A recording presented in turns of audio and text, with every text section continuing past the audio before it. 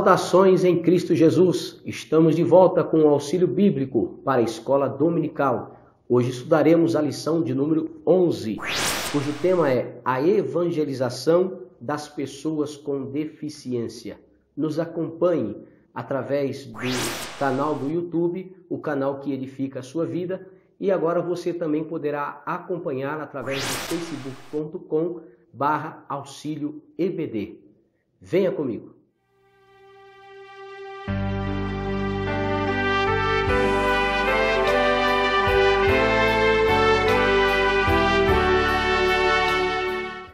Nos tempos de Jesus, as pessoas com deficiência não eram valorizadas.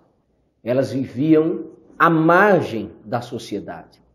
Segundo a nossa lição, a definição de deficiência é o termo usado para definir a ausência ou a disfunção de uma estrutura psíquica, fisiológica é, ou anatômica, ou seja, as pessoas com deficiência são as que se acham privadas, quer dos seus sentidos, quer dos seus movimentos, ou do pleno uso de suas faculdades mentais. Então aqui se inclui é, cegos, mudos, surdos, paraplégicos, tetraplégicos, coxos. Né? A palavra de Deus vai muitos nos falar sobre cegos, surdos, é, coxos e paralíticos. Né?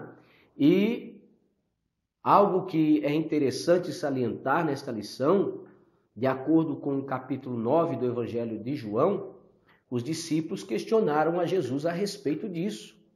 Quando, ao encontrar um cego de nascença, perguntaram a Jesus se ele estava assim ou se ele nasceu assim por causa dos seus pecados ou por causa dos pecados de seus pais. Jesus quebrou esse tabu. Jesus, ele disse que aquele homem estava cego não é porque ele havia pecado ou seus pais haviam pecado, mas era para que a glória de Deus se manifestasse sobre a sua vida, tanto que Jesus curou aquele homem cego, mudou completamente a sua vida. Então, no Antigo Testamento também, vamos encontrar quando a palavra de Deus falando sobre os sacerdotes, no capítulo 21 de Levítico, nós vamos ver que o, show, o coxo e o cego não poderiam exercer o ofício de sacerdote. Porém, Jesus não rejeitou nem cego, nem coxo, nem paralítico. A evidência disto que Jesus curou cegos a evidência diz que Jesus curou paralíticos, Jesus curou coxos. Né? Já no Novo Testamento, após a assunção de Jesus, a ascensão de Jesus, nós vamos ver também que é, um paralítico, um coxo, é curado através dos apóstolos. Então, o Evangelho de Cristo ele é inclusivo. Mas nos dias atuais nós deparamos com muitas pessoas que sofrem de alguma deficiência física. Então, o que fazermos com essas pessoas? Devemos evangelizá-las? Sim, devemos evangelizá-las. Para isto, o texto bíblico escolhido pelo comentarista está no Evangelho de João, no capítulo 5, versículos 1 a 9, que nos fala sobre um homem que estava há 38 anos enfermo, nesta situação, paralítico, sem poder é, movimentar-se, sem dignidade. Uma pessoa que basicamente não existia para a comunidade naquela época. Ele era uma pessoa apagada da sociedade. Mas Jesus chegou lá para resolver o seu problema. Vamos aqui é, reparar alguns detalhes deste texto bíblico que vale a pena analisarmos.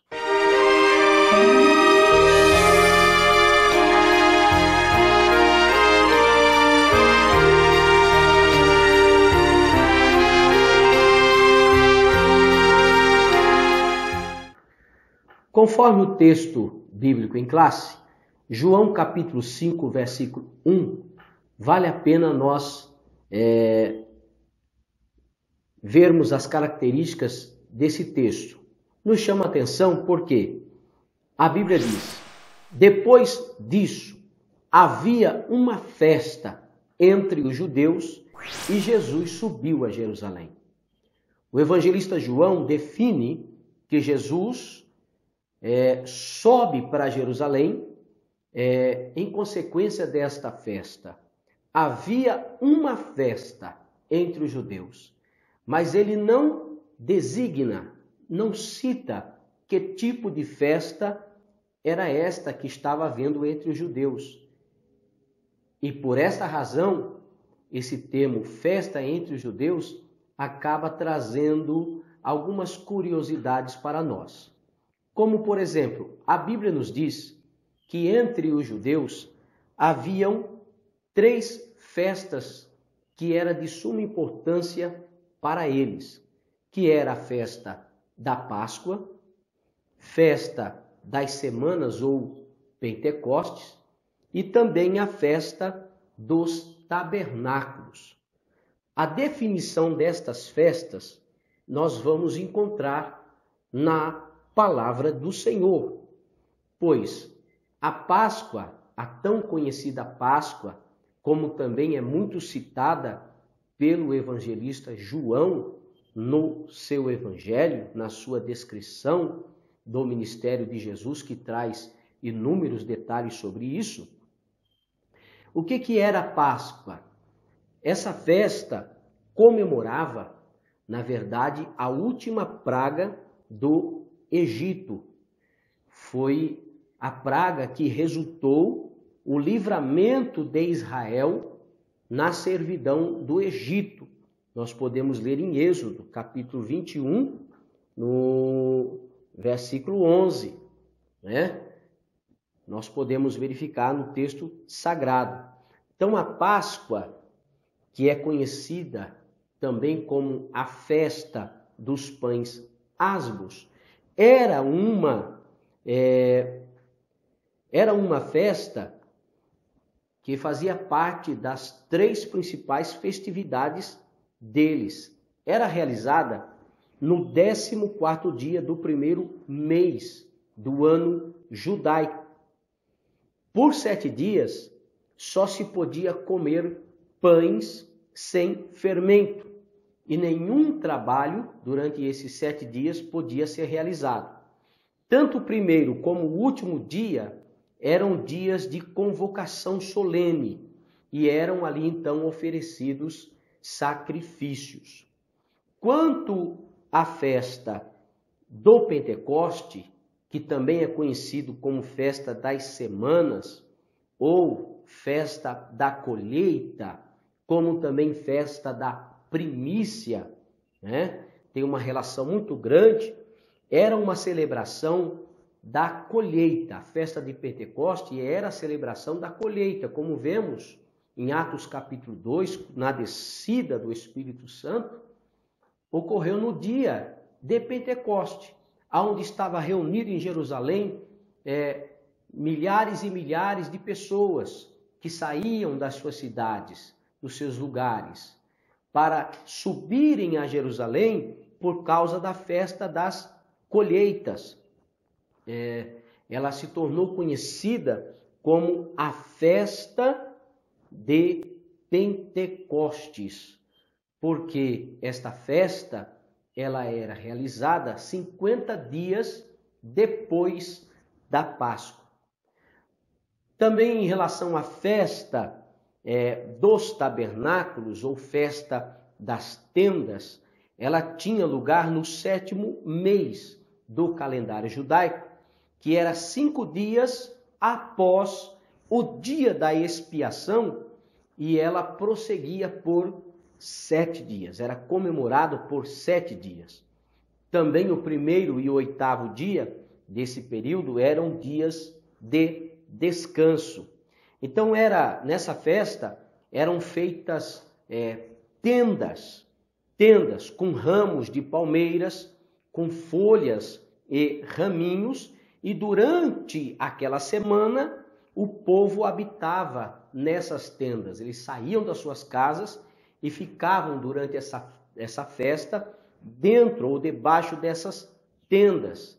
Então, é, é, essa experiência comemorava como Israel fora forçado a viver quando Deus os tirou do Egito. Eles permaneceram 40 anos no deserto, vivendo debaixo de tendas, e esse dia festivo lembrava isso.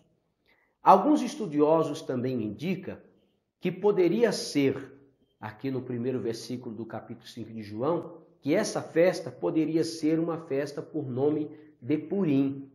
Essa festa, na verdade, ela surgiu, é, podemos assim dizer, é, com um período pós-exílico. Por quê? A festa do Purim nós vamos encontrar no livro de Esther, tão somente no livro de Esther, no capítulo 9, versículo 24, pois que esse mesmo trecho é, explica o nome Purim, que no caso aqui está no plural, né? E significa sortes, sortes. Muito provavelmente é uma palavra que vem do assírio é, puru, puru. É, se não é que se trata desse é, de um substantivo nativo do hebraico, o puru era um seixo usado no lançamento de sortes. E Amã, que planejou exterminar os judeus naquela época, ele lançou sortes a fim de ter, determinar um bom dia para execu a execução do seu plano maligno contra os judeus. Porém, nós conhecemos muito bem a história, que vemos Deus agindo de forma soberana nisto, através da rainha Esther, aquele plano de Amã reverteu, reverteu-se, né? Então aí se tornou, na verdade, um dia de júbilo, um dia de alegria, um dia de vitória para os judeus. Então, era uma festa jubilosa que foi estabelecida para exatamente celebrar esse grande dia de vitória dos judeus. Então essa festa, ela era observada nos dias 13 a 15 do mês de Adar, ou seja, entre fevereiro e março. E o livro de Esther, até os dias atuais, é lido nas sinagogas. Quando se cita o nome de Amã, existem vaias. Quando se cita o nome de Mardoqueu, existe júbilo e alegria. Aqui fica essas curiosidades para que possamos é, analisar.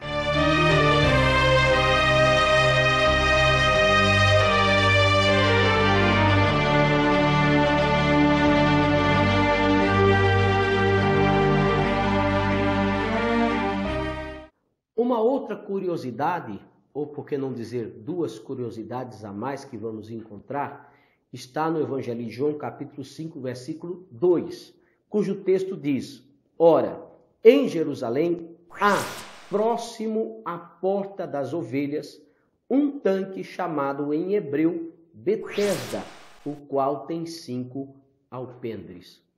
Duas curiosidades. Primeiro, porta das ovelhas e segundo, o tanque chamado Betesda. É, em relação à porta, nós vamos encontrar na Bíblia no livro de Neemias, capítulo 3, um relato muito amplo sobre a reconstrução dos muros da cidade de Jerusalém por Neemias. Neemias foi um grande líder que comandou essa reconstrução, dirigido e orientado por Deus.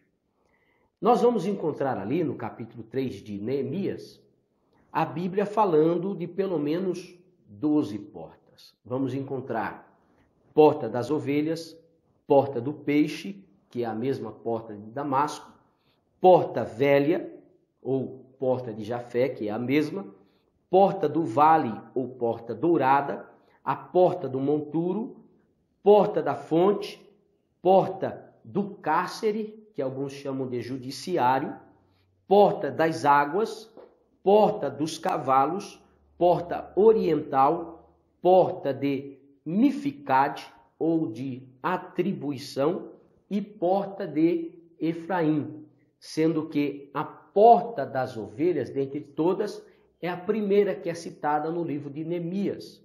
E nós vamos encontrar também no Novo Testamento, no capítulo 5, versículo 2 do Evangelho de João. A porta das ovelhas no muro de Jerusalém, ela ficava bem próximo ao templo e era exatamente a porta por onde as ovelhas passavam para é, serem sacrificadas, tá? Tá aqui uma característica muito interessante desta porta das ovelhas. Quanto ao tanque de Betesda, a palavra Betesda significa casa da misericórdia ou casa da graça. A palavra Bet significa casa. Então é a casa da misericórdia. Então o tanque de Betesda era uma piscina dupla cercada por uma galeria de quatro colunas construídas por Herodes e por uma quinta galeria que dividia as piscinas do norte e do sul. Os cinco alpendres ficavam entre essas duas galerias de colunas, sendo duas em cada lado e uma no meio. Este tanque era cercado de pessoas deficientes na época de Jesus, porque o texto diz Olha o que, que o texto diz no versículo 3. Nestes jazia grande multidão de enfermos. Aí a Bíblia vai classificar que tipo de enfermos que se encontrava ali: cegos, coxos, paralíticos. Eles tinham uma esperança. Qual era? A esperança deles é que a água se movimentasse. Diz o texto aqui que acreditavam que um anjo descia e movimentava as águas. E o primeiro que descesse nesse tanque era sarado das suas enfermidades, era curado das suas enfermidades. Embora a última parte desse versículo 3 e no versículo 4 não constam nos manuscritos mais antigos. Vale a pena prestar atenção nesse detalhe. Porém, como sabemos que para Deus nada é impossível, nós cremos sim no poder de Deus.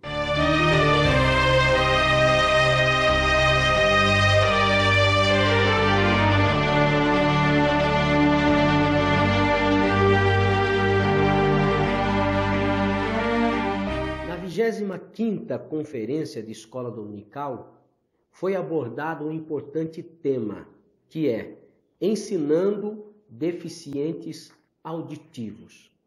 Pois afinal, o surdo não é um doente. Ele é um sujeito que tem uma língua natural própria. Nós conhecemos como Libras, que é a língua brasileira de sinais. E quais são as medidas a serem observadas na comunicação com o surdo? Em primeiro lugar, precisamos entender que existem surdos oralizados e surdos não oralizados. O que, que vem a ser isso? É, os surdos oralizados são aqueles que conseguem se expressar por meio da fala e compreender o que lhes é transmitido por meio da leitura labial. Mesmo oralizado, o surdo continua com dificuldade de comunicação, porque continua sem ouvir. E muitos desses alunos oralizados usam até mesmo aparelhos auditivos. Né? É, a ciência tem nos trazido é, é, essa singular identificação de aparelhos auditivos, mas é preciso lembrar que o aparelho não é é, não exclui a, a limitação daquele que sofre de surdez, apenas ajuda. Com relação ao surdo não oralizado, que é aquele que não consegue se comunicar por intermédio da fala, A comunicação com esse grupo é feita de forma não verbal. Então, para isso, tanto o aluno quanto ao professor precisa conhecer a língua de sinais, que é conhecida como Libras. Isso é muito importante em uma igreja. Embora nós temos uma grande deficiência em relação a isso, né? Porque são poucos que se interessam em aprender Libras e falar através de Libras. Então, atualmente existem vários métodos de comunicação que podem ser empregados com o surdo. Então fica a pergunta: quais métodos podemos utilizar na comunicação com o surdo? É importante lembrar que o surdo ouve com os olhos, portanto, só haverá comunicação se houver visualização. Então, observe o seguinte: ao se comunicar com o surdo, procure ficar de frente para ele. Fale pausadamente e utilize a expressão facial e corporal. Utilize o vocabulário simples. Procure manter uma curta distância entre você e a pessoa surda e utilize gestos, mesmo que o surdo seja bem oralizado.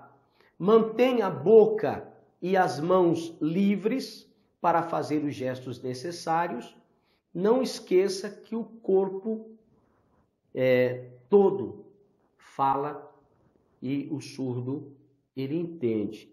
Procure é, dominar a língua de sinais e o alfabeto manual, principalmente para nomes próprios.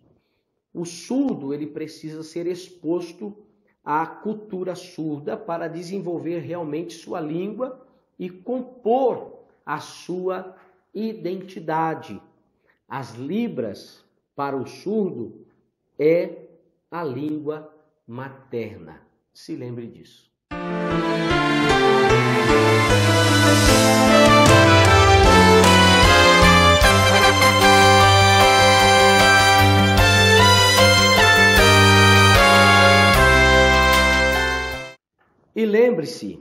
O Evangelho de Cristo, tem de ser anunciado a todos, em todo tempo e lugar, por todos os meios.